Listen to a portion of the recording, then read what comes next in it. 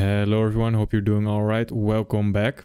In today's video we're going to talk about breaker block, a very strong pattern that I like to use a lot. So let's get right into it. Oh, wait, sorry to interrupt. If you're looking for a trusted crypto exchange that I'm also trading on, I highly recommend you checking out this link in the description. You can sign up here and trade with me. This helps out the channel a lot and allows me to keep doing this for free. Thank you. Essentially what a breaker block is, is a pattern that traps traders on one side and then gives them an opportunity to release them and then continue the newly established trend. For a bearish breaker block, this would look something like this swing high created here, we retrace, we touch a premium array, we break down lower, we come back into where long traders are trapped, and we continue lower.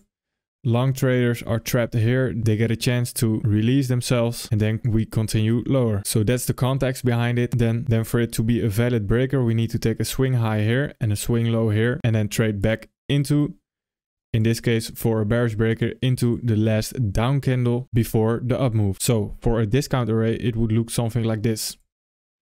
Trade lower, we make a swing low, retrace, we trap short traders, trade above the swing high, trade into the last up candle that was created here before the down move.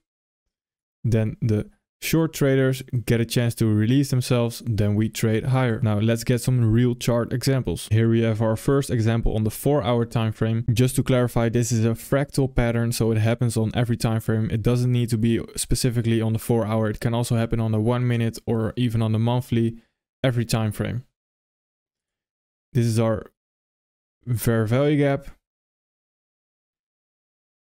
Below the fair value gap are some equal lows. So this is our premium array.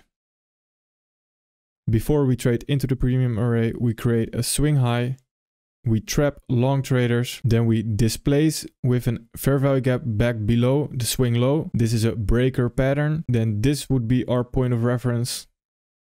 In this case, the body of the candle and not the wick. If the wick is overlapping with a fair value gap, then we would have taken the wick. And another little tip is we don't want to see mean threshold, which is 50% of the body of the candle, get disrespected. Disrespected meaning if the body closes above 50% of this candle, then it would be seen as disrespected and the probability of it holding would decrease significantly. So ideally, we would want to see something like this, an immediate reaction and continue lower. This is a bearish breaker. So what classifies the breaker? The premium array swing high created before we touch the premium array.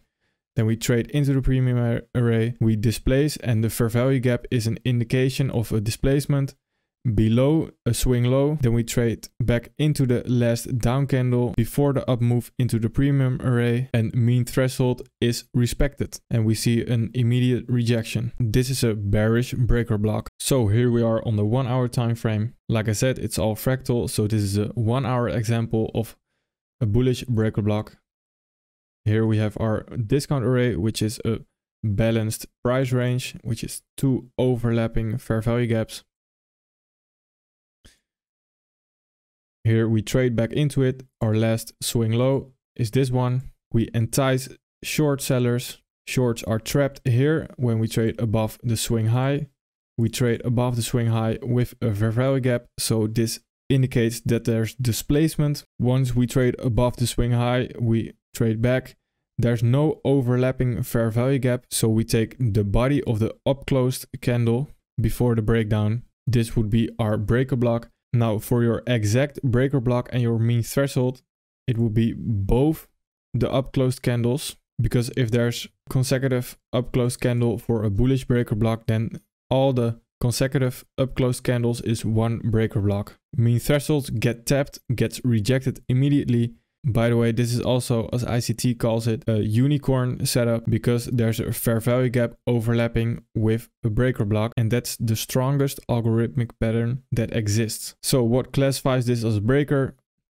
We have our discount array, we break a swing low, we trap short traders, we trade above the recent swing high. Short traders have a chance to get released here. Then depending on if the wick of the breaker is overlapping with a fair value gap, we take the wick or the body of the candle.